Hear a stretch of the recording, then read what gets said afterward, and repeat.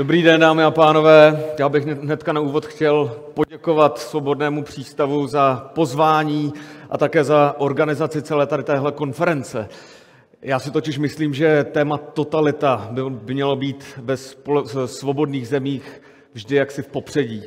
A to nejen proto, abychom nezapomínali na to, co tady v minulosti bylo, ale také proto a možná především, abychom si připomínali, že máme být obezřetní na cestě budoucí a nesklouzávali ke zbrklosti, byť třeba s dobrým úmyslem, abychom omylem nevytvořili podmínky, kde může totalita znovu začít bujet.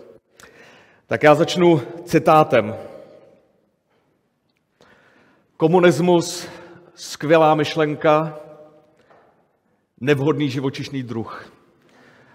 Tady tohle řekl s nadsázkou biolog E.O. Wilson a poznamenal, že u mravenců a termitů zdá se Marxův model funguje naprosto skvěle, ale u lidí je to jaksi trochu ošemetnější. Eh, já mám tenhle citát rád, protože ilustruje jednu jednoduchou, ale důležitou myšlenku, která se neváže pouze na komunismus, ale na všechny potenciálně totalitní ideologie. Pokud totiž se chceme bavit o tom, jak to udělat, aby společnost, ve které žijeme, byla co nejsvobodnější, nejspravedlivější, nejodolnější vůči tyranii a totalitě, tak se přirozeně musíme ptát eh, na to, jaké bytosti společnost tvoří, co je člověk za tvora, jakou má povahu. Můžeme mít krásně vystavěný obraz budoucí utopie, ale pokud bude fungovat pouze na papíře a nebude lícovat s lidskou povahou, tak nemá žádnou šanci na úspěch a s tím větší pravděpodobností povede k nějaké formě totality. Úhel pohledu pro tuto přednášku bude psychologický. Jednak je to oblast, jak zmínila Tereza, v které mám vzdělání, a druhá k mně přijde zajímavá neotřelá a doufám, že bude zajímavá i pro vás. Tak tedy, co je člověk? Člověk je v první řadě bytost složitá plná rozporů a paradoxů. A téma lidské povahy by samozřejmě bylo nad rámec tady téhle přednášky. Sama moderní psychologie v současnosti není úplně schopna dát nám všechny odpovědi, které by nás zajímaly. Ale rád bych tady s vámi dnes proskoumal jeden konkrétní aspekt lidství a jeho vztah k tyranii a k totalitě. A je to rovina sociální. Protože člověk je především tvor společenský. Navzdory různým samotářům a poustevníkům je pro většinu lidí ohromně důležité, že jsou s ostatními. Vztahy a dobré vztahy s rodinou a přáteli jsou jedním z nejzásadnějších prediktorů pocitu štěstí a spokojenosti v životě. Jejich absence, sociální izolace, je zase naopak spojena s depresivitou a dokonce i s horším fyzickým zdravím. Můžeme sice na sebe od rána do večera apelovat, že by nám mělo být jedno, co si o nás druzí myslí, ale skutečnost ukazuje, že to není tak snadné.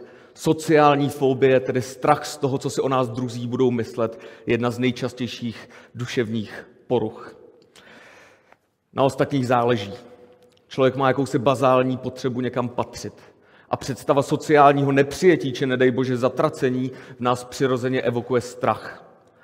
Tady tahle potřeba někam patřit a být přijat je vždycky v určitém rozporu s naší potřebou se svobodně a individuálně projevit. Na jednom extrému hrozí to, že se člověk naprosto podvolí společenským strukturám a zmizí v, komfortní šedi, v, komfortní, v konformní šedi. A na tom druhém hrozí osamocení, vykořeněnost a odmítnutí ze strany druhých. Vybalancovat tady tyhle dvě roviny není vůbec jednoduché. A z toho důvodu také myslitelé napříč historií zdůrazňovali, že když se bavíme o svobodě, neměli bychom se bavit pouze o jakési absenci útlaku ze strany státu, ale měli bychom se taky bavit o takzvané svobodě společenské a jejím protipólu, o sociální tyranii. Jedním z takových myslitelů je John Stuart Mill, který zdůrazňuje, že ochrana před státní vládní mocí nestačí. My musíme také chránit jednotlivce před společností, která vnucuje svá pravidla těm, kdo se odchylují a nutí všechny, aby utvářeli svůj charakter podle jejího vzoru. To je něco, co právě Mill nazývá sociální tyranii a říká, že tahle je daleko nebezpečnější než tyranie politická, protože i když neukládá tak přísné tresty, nelze před ní uniknout proniká hlouběji do všech sfér života a zotročuje duši. Je to tedy tyranie totalitní. Milová formulace je úderná, ale je tak trošku abstraktní. A rád bych se s vámi zamyslel nad tím, co to konkrétně znamená, nebo co to znamenat může. Na rozdíl od omezování svobody ze strany státu se totiž sociální tyranie špatně definuje. A ještě hůř se hledá ten, kdo je za ně odpovědný. To však neznamená, že bychom se o to neměli snažit. Že bychom se této problematice neměli snažit porozumět. Naopak myslím, že bychom se o to měli snažit o to více, protože v momentech neurčitého, ale i tak bytostně vnímaného útlaku může dojít k tomu, že se začne volat po silném vůdci, který by opět udělal pořádek a chránil slabší a zapomenuté před útlakem okolí. Jedna forma tyranie může být povolána jako obrana proti formě jiné. To je nebezpečná vyhlídka, které bychom se měli pokud možno vyvarovat. Diktátoři totiž často chodí převlečení za osvoboditele. Však si vzpomeňme na to, jak argumentovali komunisté anebo nacisté. Ale zpět k sociální tyranii. Abychom to ilustrovali, byl bych rád, kdybychom se spolu podívali a zamysleli nad pohádkou císařovinové šaty. Tak, co se tady děje? Máme tady marnivého císaře, který se stará jenom o to, jak vypadá. Přijdou k němu tkalci, kteří řeknou, že mu uší nádherný šat, který je ovšem neviditelný pro ty, kteří jsou hloupí a nekompetentní. My samozřejmě víme, že tkalci jsou podvodníci a vůbec nic nešijí, ale císař, když se na ně podívá, tak nic neříká, protože se bojí, že bude ten jediný, kdo se ukáže jako hlupák. To samý dělají jeho ministři a poradci a jak známe, pohádka končí tak, že císař jde v průvodu poddaných Všichni na něj hledí, on jde tak, jak jej pán Bůh stvořil, nikdo nic neříká, ačko, i, když, i když samozřejmě nikdo nevidí ten neexistující šat, až najednou malé dítě vykřikne císař je nahý, čímž prolomí teď přetvářky a všichni okolo začnou smát. Císař je zostuzen. zostuzen. Tak, dámy a pánové, co se tam stalo? Pojďme se nad tím zamyslet, protože tady v téhle pohádce se děje tak trošku něco podivného.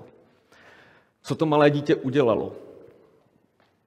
No ono řeklo, císař je nahý. Ale to přece každý věděl.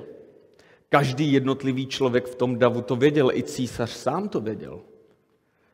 No ale každý to věděl pouze soukromně. A nikdo se to neodvážil říct nahlas ze strachu, že by byl ten jediný, kdo se ukáže jako hlupák. To malé dítě umožnilo všem poznat, že to nejsem jenom já, kdo ví, že císař je nahý, ale že to vědí všichni ostatní. A nejenom to evokovaný smích dal všem poznat, že nejenom já vím, že císař je nahý a ty víš, že císař je nahý, ale také, že já vím, že ty to víš a ty víš, že já to vím a tak dále, že to víme jaksi společně. Pokud chceme ve společnosti cokoliv změnit, musíme být schopni se nějakým způsobem kolektivně koordinovat. A proto, aby se tak stalo, nestačí, abychom všichni věděli, že je něco pravda. Musíme také vědět o tom, že toto přesvědčení navzájem sdílíme. Pokud já vím něco a ty víš, ty to víš také, ale já nevím, že ty to víš, a ty nevíš, že já to vím, můžeme ustrnout v milném přesvědčení, že jsme ve svém názoru osamoceni. Tady s tímhle efektem samozřejmě, jak se od jak živa intuitivně počítají diktátoři. A proto obvyklým tahem při upevňování moci je potlačení svobody tisku, svobody slova a svobody zhromažďování, které jsou základními pojistkami proti útlaku, právě proto, že nám dávají tu možnost poznat, že ve svém přesvědčení nejsme sami a dávají nám možnost společně se zorganizovat a vzepřít totalitě. Tady tenhle typ poznání, tedy já vím, že ty víš, že já vím, že ty víš a tak dále a tak dále, je podnožinou něčeho, čemu se v psychologii říká společné pole. Společné pole je přesně ta věc, kterou popisujeme, když používáme větu všichni přece vědí XY, anebo každý normální člověk si myslí XY. Na společném poli se nacházíme úplně všichni, kdykoliv komunikujeme anebo jednáme v jakékoliv sociální situaci. Zkuste si někdy doslovně přepsat kus konverzace s druhým člověkem. Z největší pravděpodobností zjistíte, že vynecháváte naprostou většinu detailů a soustředíte se jen na to relevantní, protože předpokládáte, že onen zbytek si ten druhý domyslí. protože s ním, s ním sdílíte společný referenční rámec. Když někdo něco příliš vysvětluje, je to nuda, protože většinu těch věcí už víme. Když někdo něco bere příliš vážně doslova, někdo, když někdo bere něco příliš doslova, přijde nám to vtipné. Je to trošku jako ta situace ve vtipu o programátorovi a jeho ženě, která mu řekne kup chleba a jestli budou mít rohlíky, ve mých 12. A on se vrátí s 12 bochníky chleba. To, co ten programátor udělal, tak nebylo nic špatného samozřejmě. Tady tahle věta je dvojznačná. On si interpretoval po svém, ale většina z nás tak nějak z kontextu chápe, že měl se koupit rohlíky. A onen kontext je právě to, čemu říkáme společné pole. Je to množina všech přesvědčení, postojů a znalostí, které dopředu předpokládáme u ostatních lidí. My totiž musíme být schopni simulovat pohled na svět druhých lidí, protože k němu nemáme přímý přístup. My se navzájem nevidíme do hlavy a musíme to odhadovat zevnitř. A z toho důvodu je společné pole naprosto zásadní nástroj naší mysli, bez kterého by všechno bylo o dost kostrbatější a zdlouhavější. Kdybychom to neměli, komunikace by byla neúnosná a těžkopádná. Nebyl by tam žádný prostor pro dvojsmysl, pro výňatky, pro, pro čtení mezi řádky, pro sarkazmus, ironii, analogii a humor. A všechno by se muselo pořád vysvětlovat do detailů. Byl by to svět, který nám přijde směšný, když na něj občas narazíme v podobě absurdních varování v uživatelských manuálech. Před složením odejměte dítě. Tohle je vtipné, protože to přece každý ví a nemusí to někam psát. Je to hodně podobné tomu, co hovorově nazýváme selský rozum. A zároveň je to velice blízké tomu, čemu říkáme kultura, tedy jakési nevědomí, nevědomé poznání o tom, jak se lidé obecně chovají, jaké jsou normy, co se dělá a co se nedělá a jaký to všechno má význam. A z toho důvodu si musíme uvědomit, že společné pole jen tak nezmizí. My se ho nemůžeme úplně zbavit, protože většinu času nám velice dobře slouží. Bez toho bychom byli ztraceni v chaosu, kde nedokážeme nikdy předpovědět, co se stane a nemáme sebe menší potuchu o tom, jak druzí zareagují. Ale zároveň si musíme být vědomi toho, že společné pole má i svoji stěnou stránku, jak to ukazuje Andersenova pohádka, protože v něm může zahnívat něco, co si myslí pouze malá část lidí, anebo dokonce vůbec někdo. Ale nikdo se to neodváží říct nahlas, protože má za to, že je v tomto přesvědčení sám. Tady tohle zahnívání hrozí především v situaci, kdy se za vyřknutí určitého přesvědčení trestá. Extrémní podobu tady tohohle jevu popisuje Václav Havel v Moci bezmocných. Havel se ptá, proč dává zelinář do výkladní skříně heslo proletáři všech zemí spojte se. Je to proto, že by si přál, aby se všichni proletáři doopravdy spojili? Havel pochybuje o tom, že by většina lidí na konci 70. let po 20-letém komunistickém marazmu věřila v tento ideál a ptá se, proč to však všichni dělají jenom na oko, jako kdyby tomu věřili. Proč to ten zelinář dělá? A následně odpovídá. Zelinář to udělal, protože to patří k věci. Chceli mít člověk klidný život, chceli v životě obstát. Je to jedna z tisíce maličkostí, které mu zajišťují relativně klidný život v souladu se společností. Člověk tomu nemusí věřit, musí se ale chovat tak, jako by tomu věřil, anebo to musí alespoň mlčky tolerovat. Kdyby to neudělal, porušil by pravidla hry a riskoval by ztrátu svého bezpečí. Asi by ztratil i práci a ostatní by nad ním zanevřeli a pronásledovali ho. Nesnad proto, že by s ním nesouhlasili, ale proto, že kdyby to neudělali, mohli by se sami stát podezřelými a být nařčení z toho, že nejsou loajální. Havel dále pochybuje o tom, že i představitelé vlády jedné strany teze obhajovali s přesvědčením. Jde spíš o to, že nemají na výběr, protože ví, že ve chvíli zaváhání by je mohl vyměnit libovolný funkcionář, ochot, ochotný sloužit této tyranské ideologii. A proto neustále opakují stejné fráze bez možnosti svobodného úsudku. Tady této situaci Václav Havel říká samototalita, která slouží především sama sobě. V takové situaci je každý člověk zároveň otrokem, ale také tím, který umožňuje, aby tato samototalita existovala, protože se neodváží promluvit nahlas. Svým mlčením vstupuje do hry a stává se jejím hráčem, umožňuje, umožňuje tak, aby se hra hrála dál. Každý člověk je tedy zároveň obětí a pachatelem v takovémto nastavení. Václav Havel také reflektuje, proč je nutné neposlušného zelenáře tak drakonicky potrestat. Přestože osamocený zelenář nemůže konkurovat obrovské mašině, která má k dispozici tajnou policii a armádu, úplně bezmocný totiž taky není. Samototalita je totiž v základech velice křehká, protože závisí na tom, že většina mlčí. Samototalitu udržuje všeobecný cynismus a předpoklad, že věci se mají určitým způsobem a nikdo s tím nic nenadělá.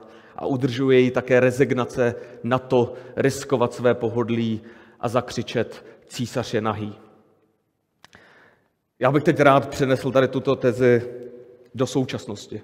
Rozhodně nechci srovnávat dnešek s komunistickou totalitou, to by bylo ostatně rouhání, ale myslím, že bychom se měli zamýšlet nad dynamikou sociální tyranie v jakémkoliv čase.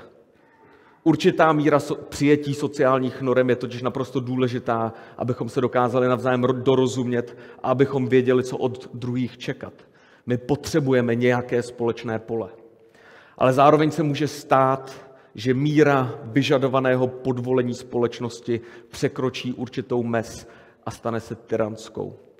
A to může mít dalekosáhlé následky a proto musíme být neustále na pozoru. Navíc z toho, co se dneska objevuje ve veřejné diskuzi a se vzestupem sociálních sítí, se mi zdá, že toto téma je relevantní dnes ještě více, než třeba tomu bylo před 20 lety. Hovoří se o rozdělené společnosti, o netoleranci vůči ostatním názorům, o znesvářených táborech, kteří se navzájem nenávidí a tak dále a tak dále. Předpokládám, že to pro vás není nic nového, je to dneska úplně všude. V nedávných projevech to zmínil nejen prezident Miloš Zeman, ale i prezidentka slovenská Čaputová. Zmínil to předseda poslanecké sněmovny Vondráček a dotkl se toho i minulý týden zesnulý předseda Senátu Kubera. Tím, jak se tady tohle téma neustále omílá, tak mám trošku strach, že se z něj stane prázdná fráze. Takový ten nic neříkající slogan, s kterým sice všichni tak vlastně souhlasí a ví, že mají kývat, když jej slyší, ale který vlastně v důsledku už nic moc neznamená. Dámy a pánové, já mám za to, že tento apel je příliš důležitý na to, aby se z něj stalo kliše. Výzkumy, které máme k dispozici, ukazují, že stoupá počet lidí, kteří se výrazně politicky vymezují, klesá umírněnost a ochota se dohodnout. Lidé se zhlukují do názorových bublin, kde se vyhledávají přátelé, s nimiž hovoří. Také se ukazuje, že více než dříve se, se, se svojí politickou orientací identifikujeme a pokládáme ji za důležitou součást toho, kdo jsme. A to sebou samozřejmě nese emoce. Politika dostává morální náboje. Řekněme, co si myslíš o Brexitu, o migraci, o premiérovi a já ti řeknu, jestli jsi dobrý nebo špatný člověk. Už nejde o společné hledání pravdy, ale jde především o, porážku společného nepřítele. Lidé se urážejí a zesměšňují ne proto, aby druhého přesvědčili, ale proto, aby signalizovali lojalitu vůči vlastní skupině. To dále posiluje rozdělování společnosti, neboť urážky vedou k tomu, že se uražení ještě více radikalizují. Je to začarovaný kruh. Zmíněné, zmíněné samozřejmě dále umocněno vývojem moderních technologií a narůstajícím vlivem sociálních sítí, díky nimž najdeme vlastní soukmenovce po pár kliknutích. Sociální sítě také, aby nás udrželi u, obrazek, u obrazovek co nejdéle, nám servírují informace, s kterými už dopředu souhlasíme, ale které jsou vždy o trošku extrémnější. Psychologové také upozorňují na to, že v momentě, kdy se cítíme jako rytíři v lesklé zbroji, bojující proti veškerému zlu, přestáváme myslet kriticky a nezohledňujeme argumenty proti strany, protože se zlem se přece nevyjednává. Zlo si nezaslouží slitování. Tohle je jeden z velice ošklivých aspektů lidského morálního instinktu. Tento instinkt se totiž nevyvinul proto, aby nás vedl k pravdě, ale proto, aby stmelil tlupy našich předků. Jejich, jejich život byl protkán neustálým bojem a válkou. Morálka funguje jako jakési sociální lepidlo s vedlejším účinkem. Slepuje, tmelí nás, ale zároveň zaslepuje. A proto se neblaze snoubí s lidským tíhnutím ke kmenařství. Když jdeme do bitvy, tak se tato představa velice dobře hodí. Ale v civilizované společnosti je tento sklon nebezpečným přežitkem. A proto musíme být schopni naše instinkty pochopit tak, abychom se jim dokázali vzepřít. Přílišné moralizování ve veřejné diskuzi totiž může vést k tomu, že se budeme chovat zaslepeně a že nebudeme schopni se v klidu bavit o složitých problémech jenom proto, že jsou kontroverzní. Teď bych nechtěl vytvořit dojem, že všichni lidé se chovají takto zaslepeně. Naopak, sociologové také hovoří o takzvané vyčerpané většině. A ta to vnímá úplně jinak.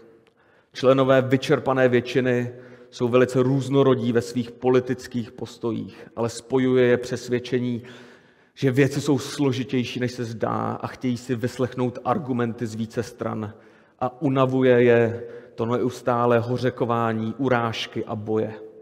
Ve Spojených státech se odhaduje, že vyčerpaná většina tvoří až 67% dospělé populace. Tito lidé mají pocit, že nejsou ve veřejném prostoru reprezentováni a proto taky často rezignují na politiku jako takovou a s menší pravděpodobností chodí k volbám. Oni také nevyjadřují svá nekonformní stanoviska při diskuzích, protože chtějí mít klidný život a nestojí o to si kazit vztahy s druhými pro strach, že budou nařčeni z podpory oné zlé protistrany. A tady tohle už začíná tak trošku zavánět milovou sociální tyraní.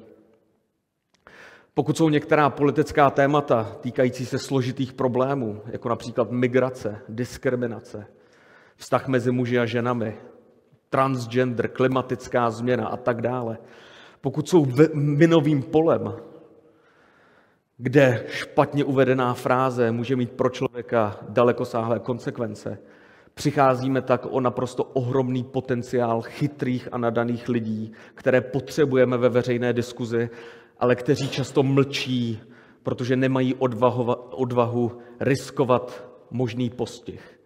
A teď nemám na mysli postih ze strany zákona, ale třeba postih ve formě útoků na reputaci, pomluvy a ztrátu blízkých přátel.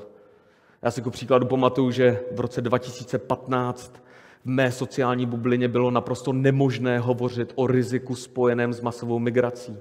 Každá zmínka znamenala, že bude člověk i hned přidělen do kategorie pravicových extrémistů a islamofobů. Moji dva blízcí kamarádi se kvůli tomu to tématu přestali bavit a teď se navzájem nesnáší. Nicméně navzdory tomuto příkladu si myslím, že v České republice se na to máme ještě dobře. Ale to neznamená, že bychom měli být laxní. Na západě se teď objevuje fenomén, který je znám jako takzvaný atentát na Twitteru.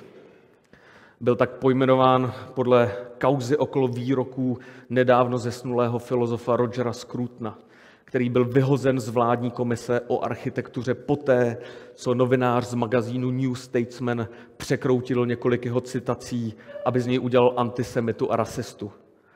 Skrutna se tenkrát zastal publicista Douglas Murray, kterému se podařilo získat celou nahrávku rozhovoru, kde bylo vidět, že věty byly vytrženy z kontextu a že byly úmyslně upraveny. Scruton následně získal svou práci zpět a magazín se mu omluvil. Já osobně jsem poznal úplně stejnou situaci v létě 2015, když jsem studoval v Londýně. V červnu se k nám donesla zpráva, že jeden profesor z naší univerzity, profesor biologie a nobelista Sir Tim Hunt, řekl na konferenci v Koreji, že by ženy a muži měli mít oddělené laboratoře, protože se prý navzájem rozptilují a že ženy prý nesnesou kritiku a hnedka se rozbrečí, když je někdo kritizuje. Tady tenhle výrok okamžitě vedl k ohromné vlně odporu a všichni akademici a výzkumníci v mém okolí se zmobilizovali, aby Hanta odsoudili jakožto zpátečnického sexistu a na několik dní se z něj stal terč všeobecného výsměchu a opovržení. Den po, uvržení, den po uveřejnění tady tohohle tweetu se od něj distancovala královská společnost. Tim Hunt ukazuje, proč by staří muži měli být vypovězeni z vědy, psal ten samý den deník Guardian. Hunt byl krátce na to přiměn vzdát se své pozice na UCL a stejně tak jako svého místa v Evropské výzkumné radě. Celá ta věc se stala tak rychle, že nikdo ani nestačil přemýšlet o tom, že bychom se měli zeptat veřejností odsouzeného nobelisty, co na to říká a jak by se obhájil. Já si pamatuju, jak jsem se spolu s kolegy také pohoršoval nad bigotností starého akademika a bylo pro mě velkým rozčarováním, když se za pár týdnů ukázalo, že to celé proběhlo úplně jinak. Hunt ve svém pro, projevu totiž parodoval zpátečnickost a vtipkoval o tom, co by asi říkal, kdyby byl sexistou. Z toho pak ten z kontextu vytržený citát o pláči a segregaci laboratoří. Našla se nahrávka a celý projev pak končí větou, a teď cituji, Tim Hunt říká, teď vážně jsem ohromen ekonomickým vývojem Koreje, ženy vědkyně v něm hrály bez pochyby důležitou roli. Věda potřebuje ženy a vy byste měli dělat vědu navzdory všem překážkám. Nahrávka končí a následuje potlesk. Za Hanta se posléze postavili slavné osobnosti jako Richard Dawkins nebo Boris Johnson, kteří mu pomohli se tak nějak v úzovkách očistit. Pro mě bylo velice zajímavé, že já a moji kolegové jsme už potom moc nediskutovali to, že jsme se málem podíleli na úplném zničení života nevinného člověka. V té době se také, také, v té době také nikdo nemluvil o výcviku v mediální gramotnosti nebo dezinformacích a o nutnosti kritického myšlení. Ono také nebylo proč. My všichni jako výzkumníci, kteří útok vedli, jsme v kritickém myšlení byli po mnoho let školeni. Tady tímhle bych nechtěl ponižovat kritické myšlení a ani hrozby dezinformací, ale je třeba si také dávat pozor na náš morální instinkt, který má tendenci nás zaslepovat. Oba postižení měli to štěstí, že jim pomohly konexe a veřejný profil, bez kterého by byli rychle zapomenuti. A proto člověka taky zamrazí, když se zastaví a zeptá se slovy klasika, kdo z vás to má. Ve Spojených státech a v Británii je zaznamenána celá řada příkladů, kdy se na někoho vytáhla špína z minulosti, většinou v podobě nějakého nepopulárního názoru či nemístného vtipu na sociálních sítích a ten člověk pak ztratil práce. To se pak každý dvakrát rozmyslí, než se k něčemu vyjádří. A je potřeba také myslet do budoucna. Některé věci, které nejsou přijatelné dnes, byly přijatelné ještě před pár lety. A to se může stát v budoucnu znovu. A internet, jak víme, nezapomíná. Strach z vyslovení nepříjemných názorů anebo skutečností může mít katastrofické následky. A to bych chtěl ukázat na jednom příkladě. Zeptám se vás, kdo tady slyšel o městečku Rodram? Pár lidí. Tak, pro ty, co jste o něm neslyšeli, tak jenom rychle zhrnu. Rodram je menší město v Anglii, kde v letech mezi rokem 1997 a 2014 operoval zločinecký gang. Jeho členové se vyhledávali nezletilé dívky z chudinských poměrů, které pak systematicky unášely a sexuálně je zneužívali. Nejmenší, nejmladším z těchto obětí bylo 11 let a odhaduje se, že celkový počet znásil, znásilněných byl alespoň 1400. Když si tady tohle přečtu, tak se ptám, jak je možné, že tady tohle trvalo tak dlouho a jak je možné, že bylo tolik obětí. To si toho nikdo nevšimnul. Lidé si toho všimnuli, ale jeden z důvodů, proč to nikdo neřekl nahlas a veřejně, proč se policie nezapojila, i když o tom věděla, bylo to, že ten gang byl převážně pákistánský. A místní autority, stejně tak jako sociální pracovníci, se báli, že budou nařčeni z rasismu. Já, když jsem se o tom poprvé dozvěděl v roce 2016 z knihy Douglase Maryho Divná smrt Evropy, tak jsem byl stoprocentně přesvědčen, že to je výmysl a dezinformace. A proto jsem si vyhledal zdroje a byl jsem následně zděšený, že to je pravda, když jsem to zjistil. Byl jsem zděšený jednak proto, že se tak stalo, a druhak proto, že jsem se o tom nedozvěděl dříve. Já se snažím číst noviny a mnohdy jsem rozčílen tím, že jsem informován o každé hlouposti. V době, kdy tahle kauza, kauza praskla, jsem navíc žil v Anglii a tak jsem se ptal, jak je možné, že, že jsem o tom nevěděl. 14 nezletilých obětí a já jsem se k tomu musel prokopávat v naprosto marginální části lokálního spravodajství někde na BBC. Majid Nawaz, sám angličan pákistánského původu a muslim, je zakladatel protiextremistického institutu Quilliam. Na vás už dlouhou dobu urputně upozorňuje na Rodram a na jiná místa v Anglii, kde se dějí podobné zločiny.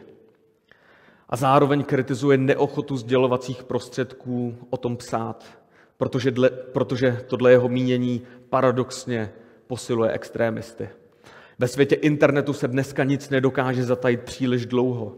A ve chvíli, kdy se o zamlčené skutečnosti někdo dozví z jiných zdrojů, může být otřesena jeho důvěra ve sdělovací prostředky. A to je nebezpečná věc. Protože když člověk neví, komu má věřit, tak se může stát, že začne věřit lžím a bludům, které se dnes šíří velice rychle.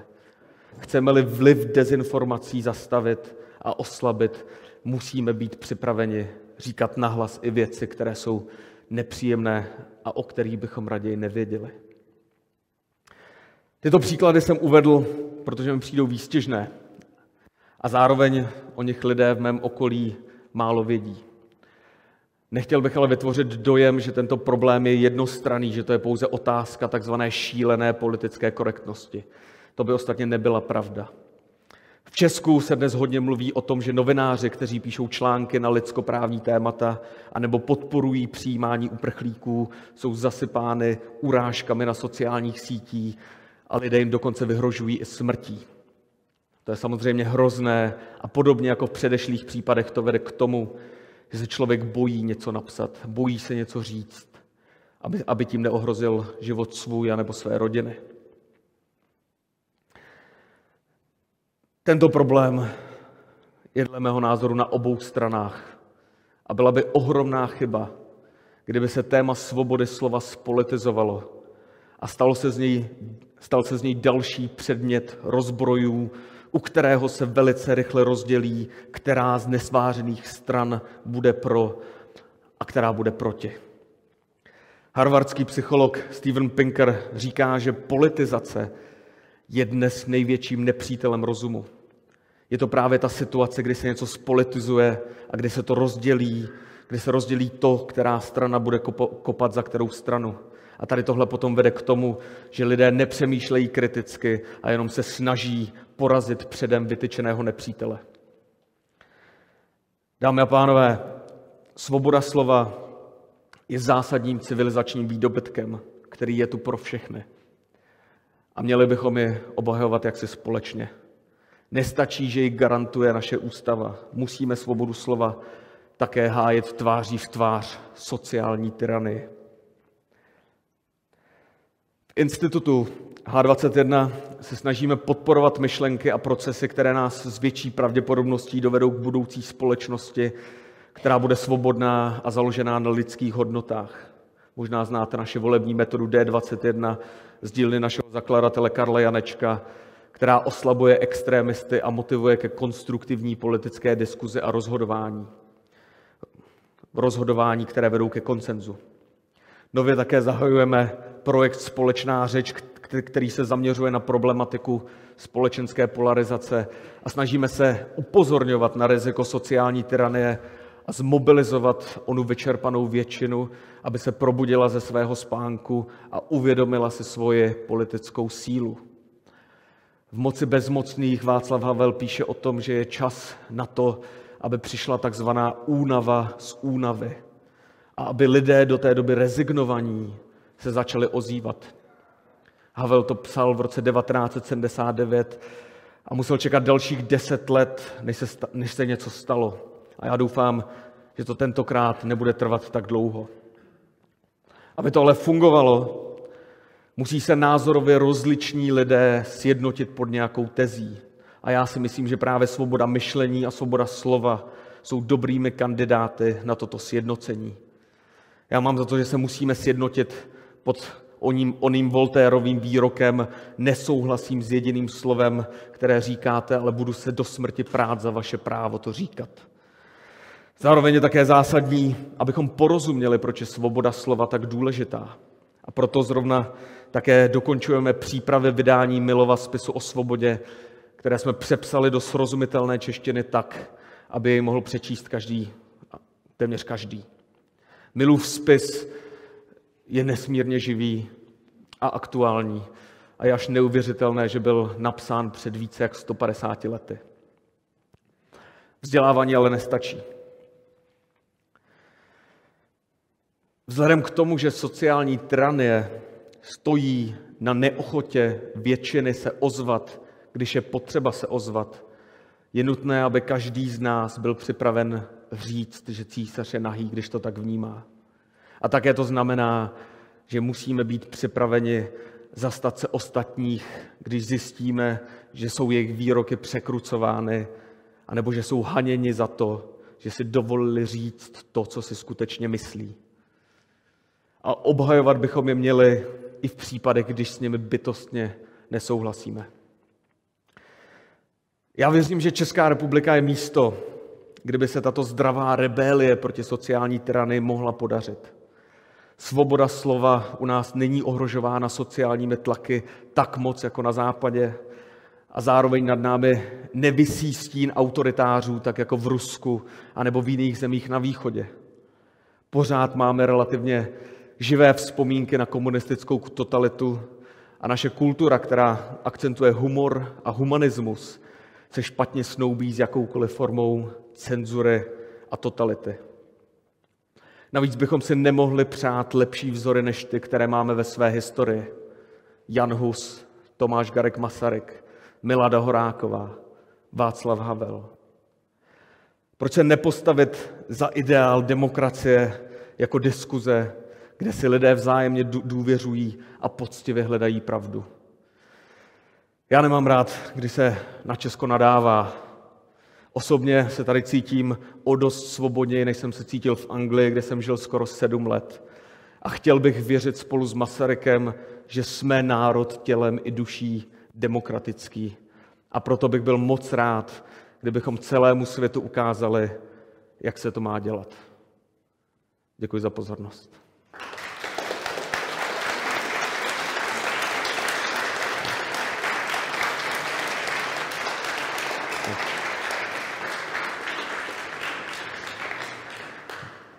Já děkuji Adamovi za přednášku. Teď, jestli máte někdo nějaký dotaz, tak se přihlaste. A... Prosím? V řádech desítek tisíc, si myslím. Jo, jo. Ale tím, jak ono to trvalo, tím, jak to trvalo téměř 20 let, tak jasně. Tak, zdá se, že žádný dotaz nevidím. Uh, tamhle vzadu, tak já tam rychle doběhnu, protože teď už mám jenom jeden mikrofon.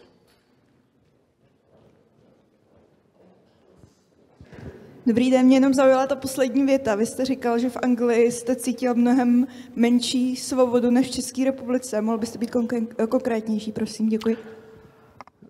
Určitě, já jsem, tak ono to možná bylo také z kontextu, v kterém jsem se nacházel. Já jsem tam se pohyboval v univerzitním prostředí, také jsem pracoval na anglických kolejích a my jsme měli eh, každé září jsme měli šestidenní školení, eh, které bylo právě zaměřeno na problematiku rasismu, LGBT a tak dále, eh, kde nám přímo říkali, že bychom neměli tolerovat jakékoliv vtipy které by mohl někdo eh, interpretovat jako, jako urážlivé. Já jsem, já jsem měl opravdu pocit, že tam si člověk musí eh, dávat pozor na jazyk, že to, to, to co řekne, může mít jako poměrně dalekosáhlé konsekvence. My tam máme, v Anglii máme ku příkladu příklady, že člověk na Facebooku um, olajkoval nějaké video a byl vyhozen eh, ze supermarketu Asda, kde pracoval, jenom proto, že nějakým způsobem se spojil s nějakým konkrétním názorem. Jo, takže především jako ta svoboda toho, eh, že si člověk musel dávat eh, pozor na jazyk. Já i teďka, když jsem tady rok a půl, co jsem se vrátil, tak občas, když moji kolegové třeba řeknou nějaký takový jako hraniční vtip, tak tak já jsem jako v úžasu, já jsem pořád jako hodně indoktrinovaný tou, tou Anglií, protože vím, že některé takové věci tam by byly naprosto nepřijatelné. Tím, jak já jsem pracoval na kolejích, tak já vím, že bylo i několik disciplinárních řízení kvůli tomu, že čl- eh, student třeba řekl něco nepříjemného uh, výdelně. Jo? Takže, uh, takže jako ta, a, a já jako člověk na kolejích jsem měl mimo jiné za úkol sledovat to, co si studenti říkají. A v případě, že by to bylo takzvaně problematické, tak jsem měl povinnost je nahlašovat a zahajovat disciplinární řízení. Dobrý den, jsem Dobrý také den. žil v Anglii a mám podobný názor jako vy, co se týká té svobody, tak si myslím, že když je vždycky vzestup a pád civilizací a všeho, tak my jsme někde před vrcholem, ale to, co jsem viděl na západě, je za vrcholem. A myslím si, co se týká toho svobody, že vlastně, když třeba vidí člověk řadu tady lidí a jeden je menší, tak řekne ten menší. Tam, kdybych řekl, že ten černý, tak jsem automaticky rasista. Což mi přijde, že k té politické korektnosti, že to, jakým způsobem jsem musel dávat pozor, co říká, mi přišlo absurdní a cítil jsem tam obrovskou sílu nesvobody. A co se týká třeba rasismu, tak vlastně si myslím, že, sta, že zákony proti rasismu musí být v zemích, kde ten rasismus je. A zrovna si myslím, že Anglie je v tomhle specifická. Byla to první země, kde jsem vlastně pocítil, co to rasismus je. Nebo prostě učím způsobem, že jsem pocítil, že jsem od někud jinut a proto mi tam nebylo vyhověno, což jsem nikde jinde nepocítil v jiném státě. A mhm. bezpečnost, co se týká, tady třeba porovnám Irán nebo Anglii, hmm. tak v Iráně, kde jsem byl, jsem se cítil daleko víc bezpečněji než v Anglii, kde jsem měl opravdu strach hmm. Hmm. z lidí. Hmm.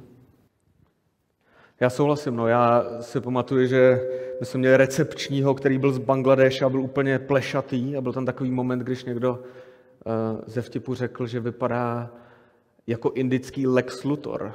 A najednou nastal úplně hrobové ticho, protože jsme prostě nevěděli, jestli ten člověk jestli je to ta hrana, nebo jestli on tu hranu překročil a teďka začne disciplinární řízení. Jo. To jsou... No. Jo, já bych se chtěl zeptat, teda ohledně té svobody slova, kterou jste tady obhajoval, mm-hmm. který tvrdíte tedy, že ji tady podle vás nějakým způsobem máme, mm-hmm. tak já bych... Ta... Jo, pardon. tak já bych se chtěl zeptat ohledně té svobody slova, protože mně přijde, že jako jsou některé věci, které se dneska prostě říct nesmí, třeba legislativně, aha, aha. a většina společnosti vám řekne, že to je tak správně, a potom vlastně vy, vy tady jdete s tím, jako, že je dobrý mít svobodu slova a na tom se jako shodnou úplně všichni. Tam jako hlavní pointa je toho, co je v té svobodě slova a to, na tom už se neschodne skoro nikdo, protože mm-hmm. ve směs svoboda slova je to, co se mi líbí a to můžu říkat mm-hmm. a to, co se mi nelíbí, tak to nesmí říkat nikdo mm-hmm. a mně přijde, že i vy tady tuhle, jakoby, to rozdělení tam máte, protože tvrdíte, že i v dnešním legislativním prostředí máme svobodu slova, přestože to, co se někomu nelíbí, se nesmí říkat. Takže moje otázka je, jako jestli vnímáte hranice svobody slova a kde ty hranice jsou. Jasně, jasně. A proč bychom měli přijmout vaše hranice? Uh, to, o čem jsem mluvil, tak jsem v podstatě mluvil o svobodě slova, která, která je v rámci těch hranic, hranic nastavených legislativou. Jo. A to, o čem mluví ten mil, je to, že pouze ochrana svobody slova, řekněme, v ústavě nestačí, protože jsou i jiné procesy, skrze které může být svoboda slova ohrožována. Konkrétně z toho, že jsou tady sociální tlaky na to, že se některé věci prostě říkat nemůžou nebo, nebo, ne, nebo nemějí. A teďka, teďka jsem se trošku ztratil, jaká je ta otázka konkrétní, jestli... Jestli tam vnímáte tu hranici, že něco se říct nesmí, mm-hmm. pokud ano a něco se opravdu říct nesmí, tak Jasně. vnímáme, jakoby pointa, jaká je pointa svobodu slova, když vlastně něco se pořád říkat nesmí. Jaká pointa? Vesměs pak jakoby zakazujete pořád něco říkat. No tak některé věci, některé věci, které stojí mimo zákon, tak jsou třeba výhrušky smrti nebo výhrušky násilí. Jo. Eh, A to si myslím, že se společnost na tom shodne, protože už vlastně ne- není to otázka artikulace nějakého pohledu na věc. Na tom shodne společnost. A pokud svoboda slova, slova je to, na čem se shodne společnost, tak jaká je pointa obhajovat svobodu slovy, slova? To je pak vždycky, že vždycky se bude moct říct na, to, na čem se shodne společnost. A teďka je otázka, jestli jako společnost jako celek se, se shodne na tom, že je, že je akceptovatelné říct vše, co nám umožňuje legislativa. Já si myslím, že tady, tady je celé penzum různých pohledů na věc, eh, které v mnohých jako sociálních bublinách jsou neakceptovatelné. Jo? Kdyby třeba, ku příkladu, já, já nevím, ku příkladu, kdybych, eh, eh, já nevím, když si představím člověka, který by v mojí sociální bublině obhajoval třeba SPD, tak si dovedu představit, že on bude čelit poměrně jasnému protiútoku a je, je klidně možné, že ty lidi se s ním přestanou bavit. A ten, ten člověk namísto toho, aby řekl to, co si doopravdy myslí, tak radši bude mlčet, než aby riskoval to, že ztratí svoje přátele. Jo. Takže, takže je to souhlasem jedna rovina omezování svobody slova ze strany státu, to si myslím, že tady ten problém není většinou. Prosím?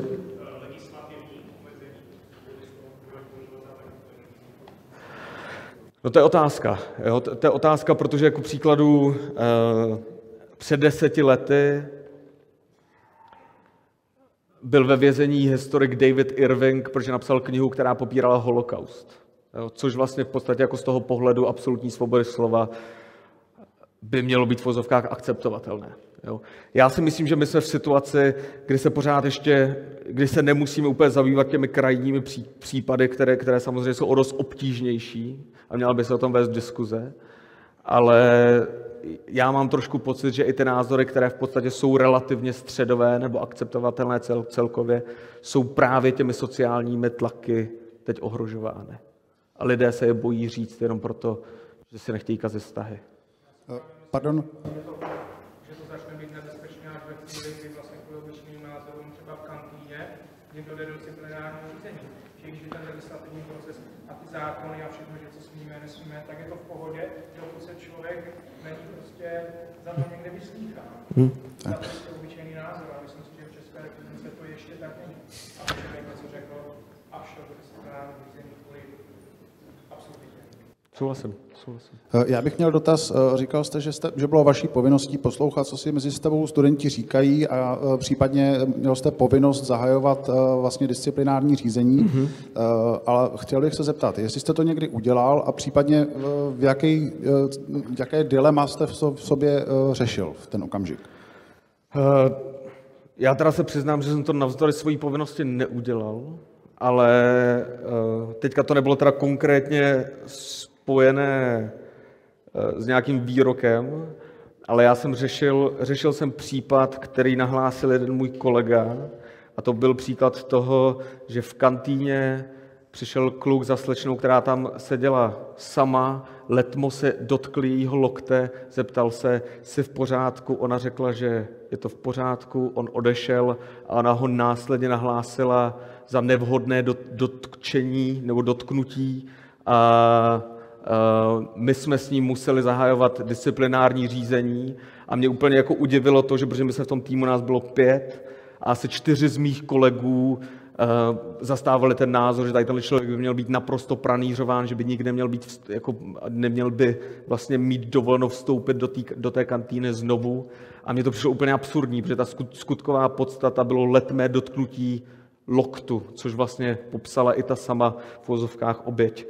Nejhorší na tom bylo to, že my jsme nemohli tomu klukovi říct, co se konkrétně stalo, protože by to mohlo potom vést k identifikaci té oběti, tudíž on akorát přišel na to disciplinární řízení, nebo v podstatě to byl jenom ten první hovor, jo, v tom druhém kroku už by byl disciplinován.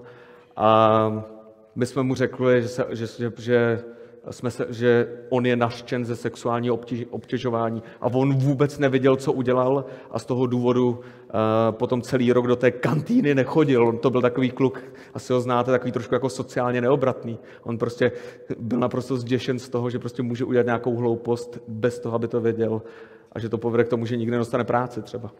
Já mám dotaz. Uh, já mám, já mám dotaz na to, je, vy jste tady mluvil o omezování svobody slova uh, jednak jako legislativní a jednak tý sociální, mm-hmm. přičemž mně přijde trošku nebezpečný tyhle ty dvě věci zaměňovat, protože si myslím, že legislativně by nemělo být postihnuto vůbec nic, mm-hmm. a to ani popírání holokaustu a nic, protože jako když někdo bojuje slovem, tak je dobrý bojovat zpátky slovem a ne silou. Mm-hmm. A oproti tomu sociální, eh, jako to ani neberu jako omezování svobody slova. Prostě každý má přece právo vybrat si, s kým se bude bavit a pokud někomu není příjemný eh, mít jako nějaký vztah s někým, kdo třeba obhajuje SPD, tak to přece není poškození toho člověka. A já bych se chtěl zeptat na to, jestli vám nepřijde eh, dost nebezpečný tyhle ty dvě věci tak trošku házet do jednoho pytle, uh-huh, uh-huh. protože sice ono to obojí dvojí ústí v nějaký jako to, že ten člověk si dává pozor, ale je přece velký rozdíl mezi tím, jestli si dávám pozor proto, že mi hrozí postih, a oproti tomu je obrovský rozdíl mezi tím, jestli si dávám pozor proto, že chci být oblíbený, že chci, aby mě měli lidi, lidi rádi. A to je přece, to je úplně jako nebe a dudy, ne? Určitě je to nebe a dudy. Jo, to je, to je jako pokud, pokud já riskuju za vyslovení nějakého názoru, to, že půjdu do vězení, tak je to o dost horší, než kdybych riskoval to, že se se mnou nebude bavit nějaký můj kamarád. Jo? To, s tím, s tím souhlasím. Míry. Prosím? Já, si, já si nemyslím, že, že je o otázku míry, ale že jedno je otázka toho, že mě někdo postihne a omezí mě na mý svobodě a na mých právech. Mm-hmm. A na druhé straně se to ale neděje. Na druhé straně vlastně jenom to, že se se mnou někdo nechce bavit, na to přece nemám žádný právo ani žádnou svobodu. Čili tam se mi nic nestalo, mm-hmm. jenom někdo si na mě udělal názor, což je přece úplně OK, ne? Uh... To je úplně OK, nicméně já možná, možná ten důvod, proč bych úplně nesouhlasil s tím, že, že je to OK, pokud se to děje v nějakém jako širším horizontu, je ten, že já si myslím, že vůbec, já, já si myslím, že veřejná diskuze je ohromně důležitý nástroj, který my potřebujeme k tomu, abychom vyřešili ty složité problémy, které se nás týkají. V momentě, kdy my nebudeme mít dobře fungující veřejnou diskuzi právě proto, že jakákoliv interakce mezi těmi znesvářenými tábory bude pouze ve formě jakéhosi překřikování, tak tam, tak, tak tam nedojde k tomu, co my potřebujeme. Potřebujeme, aby ty různé argumenty se o sebe otřely a my jako společnost jsme našli ty nejlepší možná rozhodnutí. Jo. V momentě, kdy vlastně uh, tady bude to nastavení, to, že máme prostě ty kmeny, který se spolu nechtějí bavit, není tam, řekněme, nějaký Eh, legislativní útok, útok proti, proti svobodě slova, tak z, toho, z této roviny je to v pořádku, ale není to v pořádku z té roviny, že my potřebujeme, aby se rozliční lidé spolu bavili. My potřebujeme, aby se vykřesalo to, co nefunguje, to, co je a to, co je doopravdy do, doopravdy funguje. Navíc to, co jsem zmiňoval, v momentě tady, tady to, eh, takhle vyhrocené situace se také může stát, že spousta chytrých a kompetentní lidí, kompetentních lidí prostě nic neřekne ze strachu, že si nebude kazit vztahy. Takže já to prostě beru jako velkou ztrátu potenciálu pro celou společnost. Děkuji.